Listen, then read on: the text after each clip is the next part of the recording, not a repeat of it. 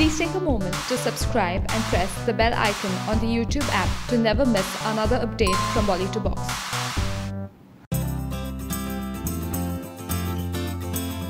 We had earlier told you that Jacqueline will be recreating the Ek Do Teen song magic created by Dhak Dhak girl Madhuri in Baaghi 2. And now the song is out and we have a lot to love about it. Firstly, Jacqueline looks absolutely bomb in her sexier version of Madhuri's Ek Do Teen dress and looking at her hot bod and flat abs, we are sure the count of her fans is going to go double after this song goes viral.